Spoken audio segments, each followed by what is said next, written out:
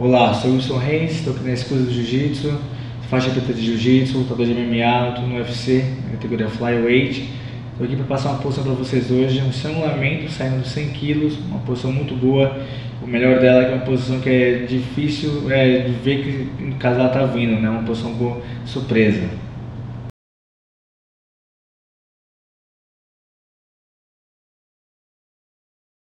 Nos 100 quilos, mão direita na lapela, fazendo aqui.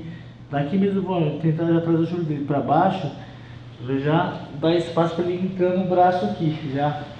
Isso, entrou o braço aqui, ó. Antes de ele ir sentindo o, double leg aqui na baiana, eu vou laçar aqui a lapela, ele vai, ele vai ficando de joelho, sentindo as minhas pernas, e vou andando um pouquinho para trás, fazer aqui, ó, passando a lapela debaixo do queixo dele. No que ele subir, eu, vou, eu até deixo ele chegar na perna aqui para subir. Daqui tá fácil para me dar o sprawl. Deu o sprawl, vou na lateral. Ó, subiu. Pé direito aqui, altura do cotovelo. Passei a perna esquerda, entre o cotovelo e o joelho. Tô aqui, ó. Já fiz a pegada já na altura do joelho dele. Aqui o rolamento vai ser lateral. Ó, fiz o rolamento, subi. Aqui, ó, fiz a pegada na perna, controlei, perna direita aqui por cima do braço. Aqui tá justo, não posso soltar a perna que ele vai conseguir girar.